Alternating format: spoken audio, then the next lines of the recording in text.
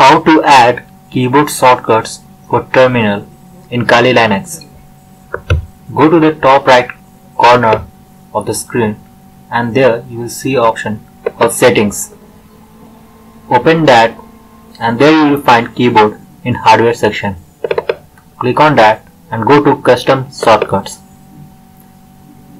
Click on the plus sign to add one and name it terminal.